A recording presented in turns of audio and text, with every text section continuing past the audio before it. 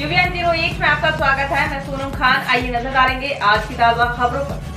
देखते रहिए UVN zero eight ताज़ा खबरों के लिए बने रहिए यूवीएन ज़ीरो एट के साथ। जो देखा, सो दिखाया।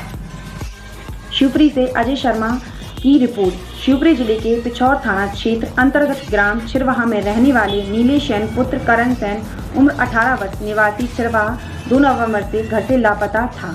नीलेश सेन के परिजनों ने तमाम खोजबीन की, लेकिन नीलेश का कहीं पता नहीं चला।